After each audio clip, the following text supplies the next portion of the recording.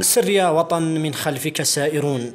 هكذا علت حناجر المشاركين في المسيرة معا ضد الكراهية. في مسيرة جابت مختلف ميادين العاصمة نواكشوط ليعبروا بصوت واحد أن الشعب الموريتاني بمختلف مكوناته متمسكا بوحدته الوطنية ضد دعاة الفتنة والتفرقة. شعارات تنوعت بمضامينها وعناوينها. واتحدت في مطلب واحد تعزيز اللحمة الوطنية ومحاربة كل الخطابات التي تحاول زعزعة واستقرار هذا الوطن. كان من بين الحاضرين رئيس الجمهورية محمد العبد العزيز الذي قاد هذه المسيرة الراجلة موجها خطابا دعا فيه أمام الجماهير الشعب الموريتاني بكل مكوناته إلى تمسكه بوحدته الوطنية أمام دعاة الفتنة والتفرقة والعنصرية على حد وصفه.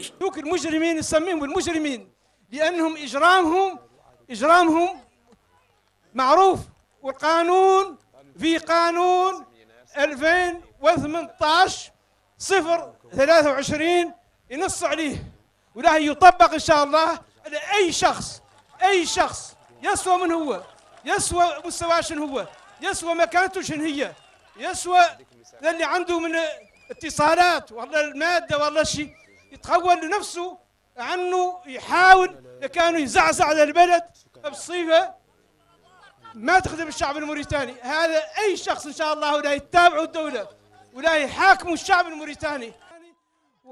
برهنت هذه الوجوه التي جاءت اليوم من مكونات المجتمع الموريتاني على رفضها التام لكل ما من شأنه تمزيق وحدة هذا الشعب بشعارات زائفة لا تمت للواقع المعاش ولا تعطي صورة حقيقية للوطن. رئيس الجمهورية محمد العبد العزيز أكد في خطابه على ضرورة تطبيق القوانين الصارمة لكل من تسول له نفسه المساس بوحدة الوطن وأمنه بوصفها خطوطا حمراء.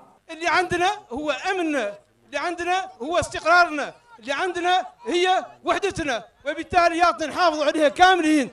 ولا نقبلوها ولا نقبلوا حد يتاجر بها مرقب ولا نقبل حد يتاجر بها مرقب ولا نقبل حد يعود يخلص عليها. على تفكيك دولتنا كيف ما حصل. ويعطنا نشوفوا اللي خلق خارج بلدنا ونعرفوا عنه بلد الحمد لله حافظنا على أمنه. وعلى استقراره بحنكة شعب الموريتاني. قال الشعب كلمته الفصل اليوم بتماسك كل أطيافه ومكوناته. لا لا لمن يحاول بث التفرقة بيننا وبين أبناء الشعب الواحد. رسالة وجهها الشعب الموريتاني.